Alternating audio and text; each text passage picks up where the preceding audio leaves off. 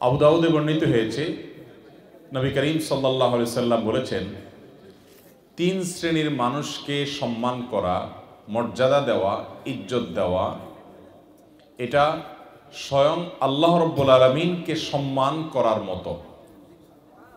আল্লাহ তালাকে সম্মান প্রদর্শন করলে, আল্লাহর বড়ত্ব বর্ণনা করলে তার যে সওয়াব পাওয়া যাবে, তার যে বিনিময় পাওয়া যাবে, তার যে মর্যাদা এবং তার যে গুরুত্ব, আল্লাহর বান্দাদের মধ্যে তিন শ্রেণির মানুষকে সম্মান দিলে, মর্যাদা দিলে আল্লাহ তালা তাকে সেই রকম মর্যাদা এবং সওয়াব দান করবে সেই তিন শ্রেণির লোক কারা?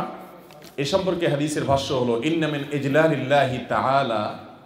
নিশ্চয় আল্লাহ রব্বুল আলমিনের বড়ত্ব বর্ণনা করার অংশ হবে একরামুদ্দিসাইবাতিল মুসলিম।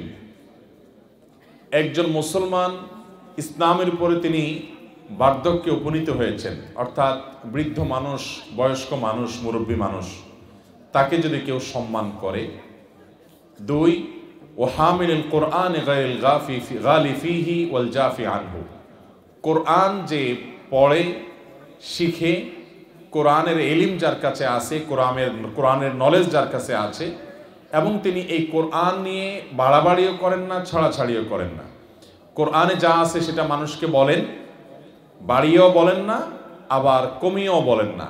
সীমালঙ্ঘনও করেন না, আবার বর্ণনার ক্ষেত্রে ত্রুটিও করেন না। কোরআনে যেটাকে যেভাবে বলা আছে, তিনি সেটাকে সেইভাবে বর্ণনা করেন। এই রকম মধ্যম পন্থা অবলম্বনকারী ওলামা একরাম যারা আছেন, তারা তৃতীয়ত হলেন ও একরামুজিস সুলতান ইল ন্যায় এবং এনসাফগার নিষ্ঠাবান যে সমস্ত শাসক আছেন, দায়িত্বশীল বর্গ আছেন, যাকে আল্লাহ তালা যে পর্যায়ে দায়িত্ব দিয়েছেন, কেউ থানার পর্যায়ে, কেউ জেলার পর্যায়ে, কেউ রাষ্ট্রের পর্যায়ে, কেউ ছোট বা বড় আরও বিভিন্ন পর্যায়ে, তার অধীনস্থ যে সমস্ত মানুষেরা আছেন তাদের দায়িত্ব পালন করার ক্ষেত্রে তিনি ন্যায় নিষ্ঠার সাথে দায়িত্ব পালন করেন এনসাফ করেন, জুলুম করেন না। এই আল্লাহর বান্দা দায়িত্বশীল শাসক যারা হন, তারা তাদেরকে যারা সম্মান করে, ইজ্জত করে, এই তিন শ্রেণির মানুষকে ইজ্জত করা, এটা স্বয়ং আল্লাহ রব্বুল আলমিনকে সম্মান করার সমপর্যায়ের, অর্থাৎ ওইটা করলে যেরকম সব পাওয়া যাবে, যে মর্যাদা হবে, এই তিন শ্রেণির মানুষকে সম্মান করার গুরুত্ব এর মাধ্যমে আল্লাহ তালার প্রতি সম্মান প্রদর্শন করা হয়। চেষ্টা করব তো আমরা ইনশাআল্লাহ। মোহতারাম হাজরিন, এক নম্বর হলো বৃদ্ধ, বয়স্ক মানুষদেরকে সম্মান করা। আমি প্রায় বিভিন্ন জায়গায় বলার চেষ্টা করি। ইসলাম আমাদেরকে ভদ্র হতে শিখিয়েছে। একজন মানুষ যদি অভদ্র হয়, একজন মানুষ যদি বদাখলাকি হয়, তার আচরণগত যদি ত্রুটি থাকে, সে কখনো ভালো মুসলমান হতে পারে? আপনি বয়স্ক একজন মানুষকে সম্মান করতে হবে। নবী করিম সাল্লা সাল্লাম বলেছেন, লাইসা মিন্না মাল্লাম ইয়ারহাম সগীরানা ওয়ালাম ইউআক্কির কবীরানা ওয়ালাম ইয়ারিফ লিআলিমিনা হাক্কাহ।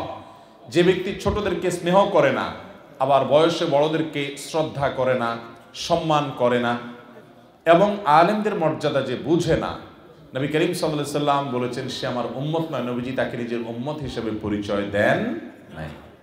মোহতারাম হাজরিন, আমাদের তরুণদের মধ্যে আজকাল এক ধরনের টেন্ডেন্সি আমরা দেখতে পাচ্ছি যে তারা বয়সে বড়দেরকে সম্মান দিতে রাজি না। অথচ আমরা আমাদের ছেলেবেলায় দেখেছি, আমাদের চাইতে যারা সিনিয়র আছেন, বয়সে বড় আছেন, তারা দেখেছেন যে আমাদের এই দেশে তরুণরা, তারা বাবার বয়সী মানুষদেরকে দেখলে রাস্তার পাশে দাঁড়িয়ে তাদেরকে সালাম নিবেদন করতেন, তাদেরকে শ্রদ্ধা প্রদর্শন করতেন পাবলিক পরিবহনে একজন মুরব্বী মানুষকে উঠতে দেখলে বয়সে যারা ছোট তারা সিট ছেড়ে দিয়ে তাকে বসার জন্য অফার করতেন। এই চিত্র আমাদের দেশে ছিল কি ছিল না? কিন্তু আজ এই চিত্র হারিয়ে যাচ্ছে। একজন বাবার বয়সে মানুষ পার দিয়ে চলে যাচ্ছে। সালামটা দেওয়া, শ্রদ্ধা প্রদর্শন করা বা ন্যূনতম কোনো তার প্রতি যে আমার দায়িত্ববোধ আছে, দায়িত্ব আছে, সে বোধটুকু পর্যন্ত আছে বলে আমাদের যুবকদের কর্মকাণ্ড দেখে, হাবভাব দেখে বোঝা যায় না। তরুণ ভাইরা আমার, ইসলাম আমাদেরকে যে ম্যানার্স শিখিয়েছে সেই ম্যানার্সের ওজন জানেন? নবী করিম সাল্লা সাল্লাম বলেছেন মামিন শাইইন ইউদা আফিল মিজানি ইয়াউমাল কিয়ামতি আথকালু মিন হুসনিল খুলুক। বান্দার সুন্দর আচরণের চাইতে ওয়েটফুল কোনো আমল মিজানের পাল্লায় কিয়ামতের দিন উঠবে না। আল্লাহ তালা কিয়ামতের দিন আমল মাপবেন, গুনবেন না। আমল কিন্তু গণা হবে না। আমল কি করা হবে? মাপা হবে। এই জন্য কার আমলের ওয়েট কত বেশি, এটা হলো দেখার বিষয়। আমাদেরকে ওয়েটফুল আমল করতে হবে। তাওহিদ যেরকম সবচেয়ে ভারী ঠিক তেমনিভাবে সাধারণ আমলের মধ্যে সবচেয়ে ওয়েটফুল আমলের মধ্যে থেকে একটা হলো সুন্দর আচরণ। এই জন্য একজন ভালো মুসলমান, একজন জান্নাতি, একজন মোত্তাতি মানুষ, একজন ভালো মানুষ সার্বিকভাবে তিনি কোনো নিজের চাইতে বয়স্ক মানুষকে অসম্মান করতে পারেন না। আমরা সব মুরব্বীদেরকে সম্মান করব তো ইনশাআল্লাহ। আমার চাইতে বয়সে যিনি বড়, আমি তাকে রেসপেক্ট করব, আমি তাকে সম্মান করব। এটা আমাদের সামাজিক সৌন্দর্য, এটা আমাদের গর্বের ধন পৃথিবীর অনেক জাতি আছে যারা আমাদের থেকে অনেক উন্নত, অনেক দেশে মানুষ আছে যারা আমাদের থেকে অনেক দিক থেকে এগিয়ে, কিন্তু এই সমস্ত ম্যানার্স তারা শিখে নাই, তারা জানে না। ইসলাম আমাদেরকে সেটা শিখিয়েছে। ইসলামের এই সৌন্দর্যটা আমরা ধরে রাখার চেষ্টা করব তো ইনশাআল্লাহ। আপনি কোনো মুরব্বী, আপনার আত্মীয় না, স্বজন না, আপনার বাপ না, চাচা না, শুধুমাত্র তাকে আপনি সম্মান করলেন, শ্রদ্ধা করলেন। শুধুমাত্র এই সম্মান, শ্রদ্ধা করার কারণে আল্লাহ তালার কাছে আপনি সব পাবেন। আজর পাবেন। চেষ্টা করব তো ইনশা আল্লাহ আল্লাহ আমাদের তৌফিক দান করুন। দ্বিতীয়ত হলেন ওলামা একরামের মধ্যে যারা মধ্যম পন্থা অবলম্বন করেন মধ্যম পন্থার মানে হলো যে আল্লাহর কোনো আদেশ, নিষেধ, বর্ণনা করতে তারা ত্রুটি করেন না, সীমালঙ্ঘনও করেন না, ছাড়াছাড়িও করেন না, মধ্যম পন্থা অবলম্বন করেন। আল্লাহ তালা আমাদেরকে সে ওলামাদের কাতারে সামিল হওয়ার তৌফিক দান করুন। আমরা চেষ্টা করব তো ইনশাআল্লাহ। তৃতীয়ত যে শাসক জুলম নির্যাতন করে না, ইনসাফ করে। সৎ মানুষকে যদি আপনি মর্যাদা দেন, সম্মান করেন, তাহলে সৎ মানুষের সংখ্যা সমাজে বাড়বে। অসৎ মানুষকে অনেকেই সম্মান করে, কিন্তু বহু সৎ মানুষ আছে, এরা আমাদের সমাজের মানুষের কাছে অনেক সময় মূল্যায়ন পায় না, সঠিক মূল্যায়ন হয় না, তাদেরকে শ্রদ্ধা করে না মানুষ, কারণ সৎ মানুষ।